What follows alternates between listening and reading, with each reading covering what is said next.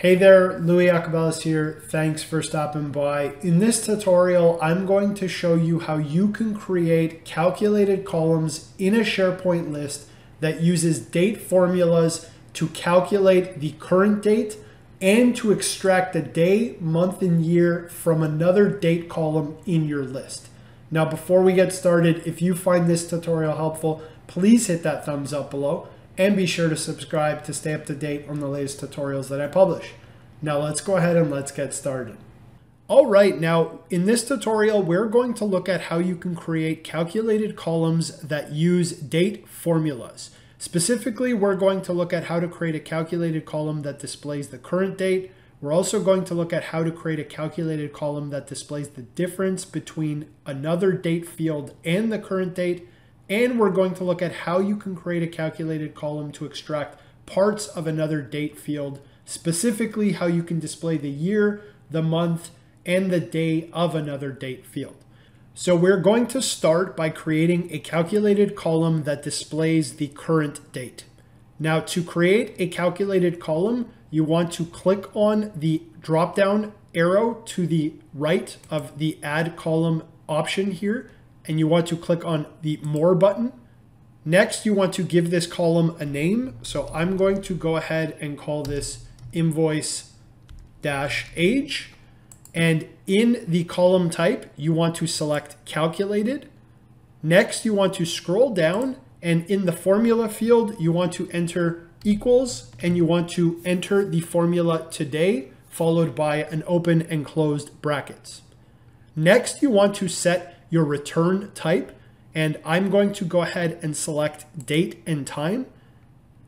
And you can see here you have the option of either displaying just the date or the date and time. So you can select whichever one is appropriate for you. I'm going to leave this as date only and I'm going to scroll down and click OK. Now you can see here that the column was added and it is also displaying the current date. So today is April 13th, 2022.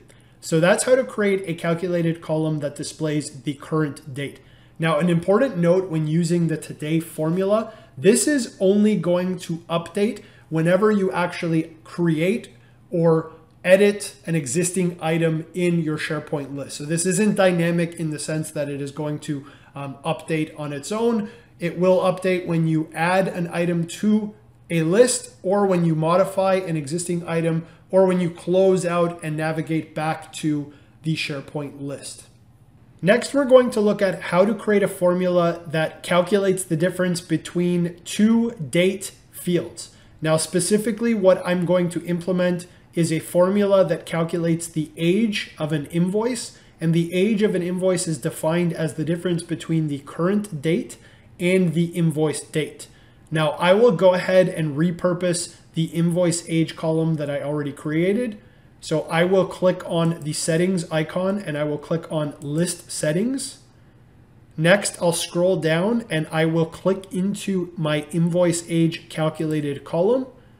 And in order to calculate the difference between the current date and another date field, I'm going to add a subtraction sign here, and I'm going to go ahead and select my invoice date column. So you can see here my formula that reads equals today minus invoice date. Next, you want to select your return type. I'm going to go ahead and select number because I want this to return an integer. And I'm going to set my decimal place to zero. Next, you want to scroll down and click OK. And I'm going to click on the name of my list to get back into my list. And you can see here that the invoice age is displayed as an integer. So you can see that this first invoice, invoice number two, is 433 days old. You can see that invoice three is 8,074 days old, etc. So this is calculating the difference between the current date, which is April 13th, 2022, and the invoice date that is listed here. So that's how you can calculate the difference between the current date and another date field in a SharePoint list.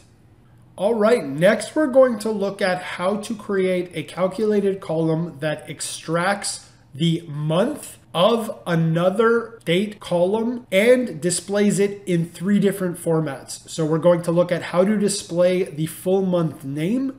We're going to look at how you can display the first three characters of the name of the month. And then we're going to look at how you can display the month as an integer value from 1 to 12. Now, again, to create a calculated column, you want to click on the Add column dropdown and you want to click on More. You want to go ahead and give your column a name. So I'm going to call this column Invoice Full Month Name for demonstration purposes.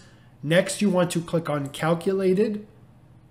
And next you want to scroll down and in the formula field, if you want to extract the full month name from another date type column, what you want to enter is the following formula. So I've just pasted this in here. You can see the formula reads equals text, open bracket, then there's a comma, and it's followed by a quote set of quotation marks with four capital M's. Now, really important, what you need to do is you need to actually insert the name of the column that you want to reference just before the comma. So you can see here, I've placed my cursor just before the comma, and I'm gonna double click invoice date. Now you can see here that it didn't actually pipe it into the right spot. So I'm just gonna copy that and paste it here just before my comma. And this is going to return the full month name. Next, you want to set your return type. Now, because this is going to return the full month name, I'm going to leave this as a single line of text. And then you want to scroll down and click OK. And what you can see here is that this new column has been added. You can see invoice full month name, and it is displaying the actual name of the month that corresponds to the month cited here in this invoice date field. So you can see January 4th will display January, March 5th will display March, and February 2nd will display February. So that's how to extract and display the full month name from another date column in a SharePoint list. Next, we'll look at how you can return just the first three letters of the month name. All right, so I've gone ahead and created my calculated column. And now I'm going to scroll down and this time in the formula field, I'm going to paste this formula. So it's the same formula that we used in the previous step. You'll just notice this time, instead of four M's, there are only three. And again, what we want to do is we want to insert the date column that we're referencing just before the comma. So I've put my invoice date reference just before that comma and I'm gonna go ahead and make sure that I've set the right return type. So we're gonna leave this as a single line of text again, and I'm going to scroll down and click OK. And I'll scroll over, and so you can see here this new column that has been added, invoice month, first three. And again, all this one is doing is displaying the first three characters of the field that we're referencing, which again, in this case, is the invoice date field. Next, what we're going to look at is how to extract the month from another date field, but this time it's going to return the month as an integer. All right, so you can see here again, I've created my calculated column and I'm going to scroll down and in the formula field, I am going to paste in the same formula that we used in the previous step, again, except this time we are only going to include two M's. Now recall, you wanna make sure that you pipe in the reference column and place that just before the comma in this formula. So I've added my invoice date. Now this one is going to return an integer. So you have a few different options. You could set the return type to number, or you could set it to a single line of text. It really depends on what you're planning to do with this column. If you're gonna be using this column to derive other uh, calculated columns, or for the purposes of formulas or validation in workflow, then it probably makes sense to set this to a number. I'm just gonna leave this as a single line of text. Next, I'm going to scroll down and click OK. And I will scroll over and you can see here this time that our invoice month integer column is tabulating or calculating the month and displaying that month as a numerical value of 1 to 12 where each number represents the specific month. So you can see here February 4th, 2021 displays as 02, March 2000 displays as 03, uh, January and January display as 01. So that is how to create a calculated column that extracts the month of another date field in a SharePoint list and display it in three different formats. All right, next we're going to look at how to create a calculated column that extracts the year from another date field in your SharePoint list. So again, to create a calculated column, you wanna click on the add column dropdown and you wanna click on more. You want to give your column a name. So I'm going to call this invoice dash year. You want to select calculated and you want to scroll down and in the formula field, again, we're going to reuse the formulas that we used in the previous step. Now you'll notice here that because we're talking about extracting the year, we change the M's to Y's and we are going to display four Y's in this formula. So equals, text, open bracket, then there's a comma and the quotation marks with four years close bracket. Now remember, you also need to pipe in the reference column. So I'm going to go ahead and grab my invoice date column and you want to place your reference column just before the comma. Next, you want to set your return type. And again, because this is going to return uh, numerical value, it's okay to either use a single line of text or a number. I'm going to use a single line of text. And next you want to scroll down and click OK. And you can see here our invoice year column is extracting the year from our invoice date column. So in this case, 2021 is displayed here, the year 2000, the year 2000, the year 2000, etc. All right, now we're going to end off here by looking at how you can create a calculated column that extracts the day from another date column in your SharePoint list. Now, again, to add a calculated column, you want to click on the add column dropdown and you want to click on more. You want to give your column a name. So I'm going to call this invoice day. You want to select calculated in the list here and you want to scroll down and in the formula column, again, we're going to leverage the same formula that we used in the previous steps. The formula is equal text, open bracket, comma, and this time we are going to populate four letter D's inside of our quotation mark. Now recall, you wanna make sure that you populate your reference column just before the comma. So I'm going to go ahead and select my invoice date column and I will paste it just before the comma. Now with this formula, it is going to actually return the full name of the day of the week. So I'm going to set the return type to single line of text. And next you want to scroll down and click OK. Now you can see here the invoice date column is displaying the name of the day of the week based on the invoice date. So Thursday, Sunday, Tuesday, and Tuesday.